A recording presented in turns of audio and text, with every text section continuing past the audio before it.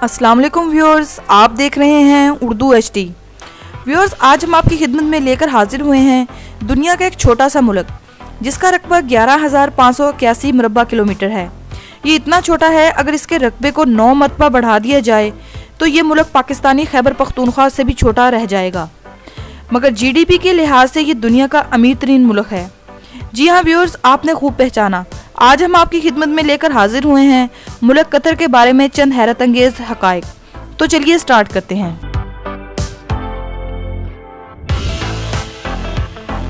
یہ مشرق وسطی میں واقع ہے۔ یہ ملک کئی سال تک مسلمانوں کی حکمرانی میں رہا، مگر انیس سو پندرہ میں یہ برطانوی حکومت کے ماتحت ہو گیا تھا۔ اس ملک نے انیس سو اکہتر میں برطانیہ کے تسلط سے آزادی حاصل کی۔ آزادی کے فوراً بعد متحدہ عرب امارات میں شمولیت کی دعوت موصول ہوئی، جسے قطر نے یکسر مسترد کر دیا۔ یہ اس وقت کی بات ہے جب قطر ایک انتہائی پسماندہ ملک تھا۔ مگر اب قطر امریکہ، برطانیہ، بلکہ تمام یورپی ممالک سے امیر ملک ہے۔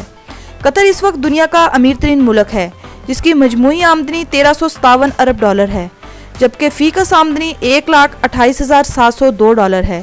یہ ملک اتنا چھوٹا ہے کہ اس کی آبادی ستائیس لاکھ ہے۔ ان ستائیس لاکھ افراد میں نوے فیصد تارکین وطن ہیں۔ صرف دو فیصد افراد یعنی ستائیس ہزار افراد قطر کے مقامی لوگ ہیں۔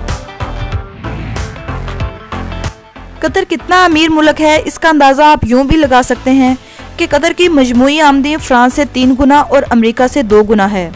یہاں آج سے سنتالیس سال قبل گزارا کرنا بھی مشکل تھا۔ یہاں لوگ مچھلیاں پکڑ کر گزارا کرتے تھے۔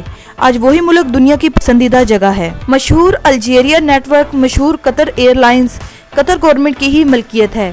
یہاں تک کہ امریکی شہر واشنگٹن ڈی سی کے سٹی سینٹر کا اکتیس ہزار مربع کلومیٹر کا رقبہ بھی قطر کی ملکیت ہے۔ قطر نے برطانیہ کی ایئر لائنز کے بھی بیس فیصد شیئرز خرید رکھے ہیں۔ بات یہاں پر ختم نہیں ہوتی۔ دنیا کی بیسیوں کمپنیاں، بڑے ہوٹلز قطر کی ملکیت ہیں۔ قطر کا دارالحکومت دوحہ ہے، جو کہ آج کل بلند و بالا عمارتوں، دلکش پارکس اور شاپنگ مال سے بھرا ہوا ہے۔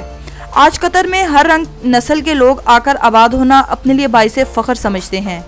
آج کل قطر دنیا کا محفوظ ترین ملک سمجھا جاتا ہے۔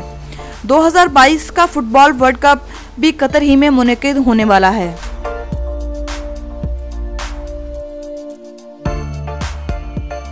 ویورز قطر کا media network Al Jazeera, India, Saudi عرب، متحدہ عرب امارات اور اسرائیل میں بین ہونے کے باوجود مشرق وسطی میں سب سے زیادہ مقبول نیٹ ورک ہے، جو کہ مشرق وسطی میں سب سے زیادہ مقبول ہے۔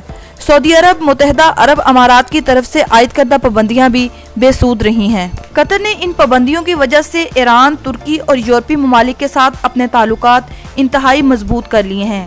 اپنے اوپر لگائی گئی پابندیوں کے باوجود قطر اب بھی دنیا کا امیر ترین ملک ہے۔ ویورز، دعا ہے کہ اللہ قطر کو اور بھی زیادہ بلندیاں عطا کرے اور اس کو اپنا پیسہ غریب مسلمانوں کی فلاح و بہبود کے لیے خرچ کرنے کی ہمت عطا کرے۔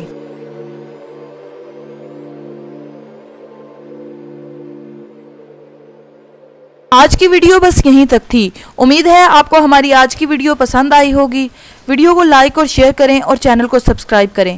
اپنی رائے کا اظہار کومنٹ سیکشن میں ضرور کرتے رہیں۔ Thank you for watching this video. Keep watching Urdu HD.